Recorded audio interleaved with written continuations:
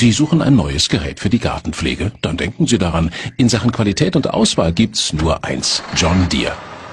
Nehmen Sie zum Beispiel den John Deere 9630 mit Klimaautomatik. Er pflügt einen durchschnittlichen Garten in nur 4,5 Sekunden.